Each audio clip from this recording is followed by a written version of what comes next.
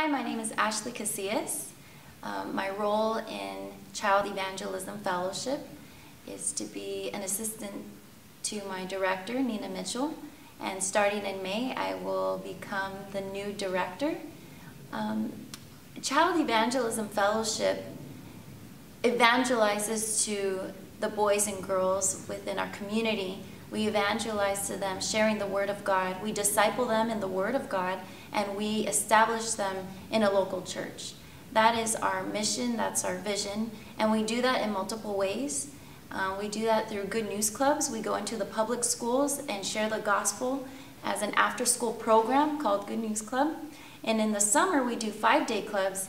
We pretty much are like a VBS on wheels. We go into the highways and the byways, we go into the communities, um, and just doing a VBS what we call it a five day club and just sharing the gospel, doing games, memorizing scripture, and getting to know them and then plugging them into a local church.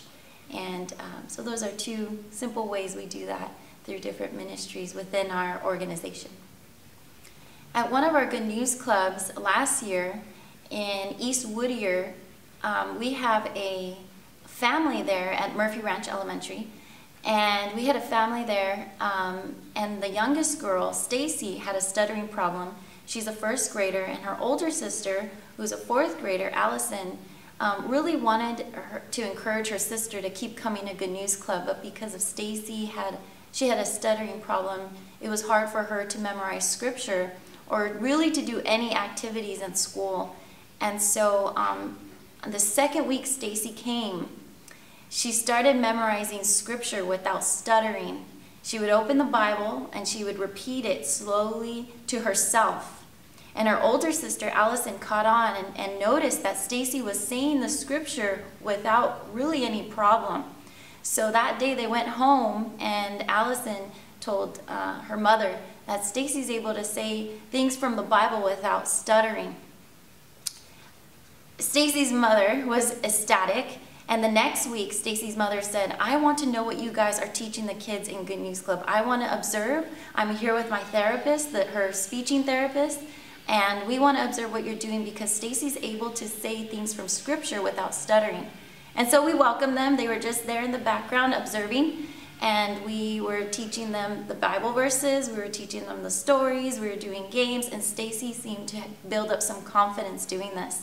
And finally, um, a month into it, Stacy's stuttering problem completely went away.